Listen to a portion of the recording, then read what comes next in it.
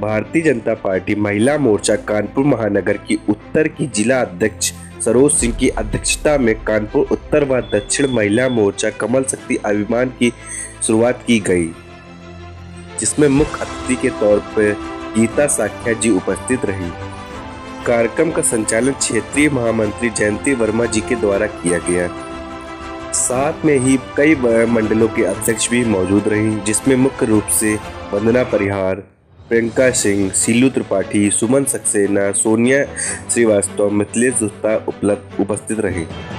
कार्यक्रम की शुरुआत सांस्कृतिक कार्यक्रमों से शुरू हुआ।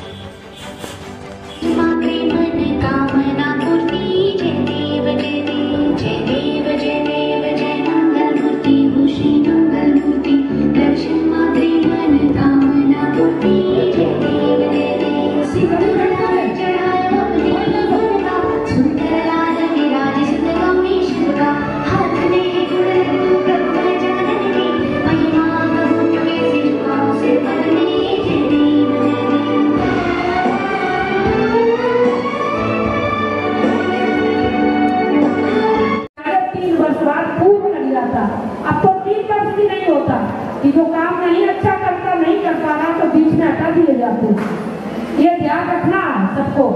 अब पहले अभी आपने देखा कि मैं में भी कितने जिला अध्यक्ष हट गए, बहुत लोग हट गए।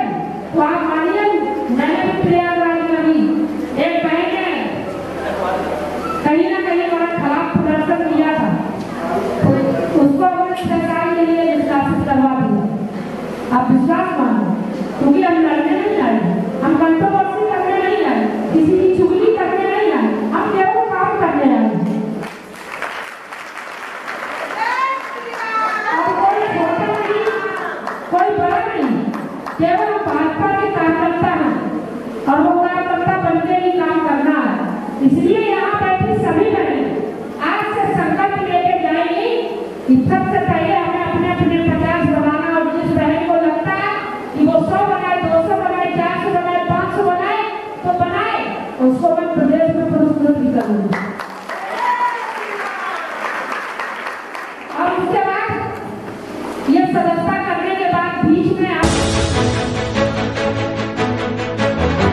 मैं क्षेत्रीय उपाध्यक्ष अनीता गुप्ता हूँ और साथ ही महिला मोर्चे की क्षेत्र की मैं प्रभारी भी हूँ।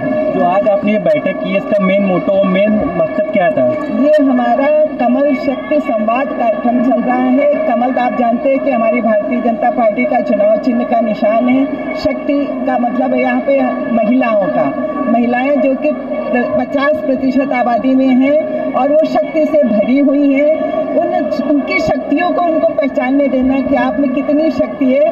और अभी तमाम सारे सर्वेज और इस समय आए और आप लोग भी न्यूज़पेपर्स में पढ़ ही रहे होंगे कि महिलाओं की पहली पसंद भारतीय जनता पार्टी है, क्योंकि जिस तरह भारतीय जनता पार्टी ने उन्हें सुरक्षा और सम्मान दिया है तो अभी भी लगभग मुझे याद है कि जब अभी पिछला चुनाव हुआ था तो उसमें निकल के आया था कि 58 परसेंट महिलाओं ने दिया था। आज आज की आपकी जो बैठक हुई है वो किसके नेतृत्व में हुई है? आज हमारी प्रदेश की अध्यक्ष और राज्यसभा सांसद श्रीमती गीता शाक्या जी के नेतृत्व में हुई है और उसमें हमारी क्षेत्रीय अध्यक्ष महिला मोर्चा उर्विजा जी उपस्थित थी। आज यहाँ पे एक और बड़ा कार्यक्रम शुरू किया गया वो है सदस्यता का।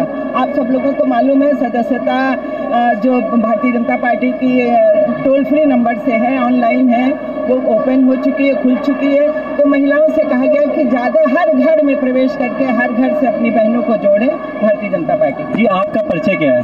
मैं वंदना परिवार कल्याणपुर मंडल अध्यक्ष जी आप ज़मीन से जुड़ी हुई नेता है अपने संगठन के लिए काम कर रही है। आप सबसे ज़्यादा आपको क्या कमियाँ लगती हैं अभी भी कि महिला शक्तिकरण के लिए आप क्या करना है? अभी क्या आगे क्या सोच रखा है आपने?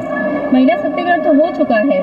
भाई योगी जी ने ट्रिपल तलाक बंद कराई वो महिलाओं के उसमें भी तो है, क्योंकि माँ बाप अपनी सारी गाढ़ी कमाई निकाल कर अपने बच्चे की शादी करते हो, कोई ऐरा गहरा आता है और बोलता तलाक तलाक तलाक, और निकल जाता है। ठीक है तो ये तो सबसे बड़ा वो उनका फैसला रहा है। मैं ये संदेश देना चाहती हूँ कि जितनी भी महिलाएँ हैं, सारी बाहर आए और अपने अपने अधिकारों को पहचाने और अधिकार दिलाने में अगर कोई पार्टी सक्षम है तो वो सिर्फ़ भारतीय जनता पार्टी ही है, जो महिलाओं के अधिकारों के लिए आगे आई है और जिसने महिलाओं के अधिकारों के बहुत सारे काम किए हैं।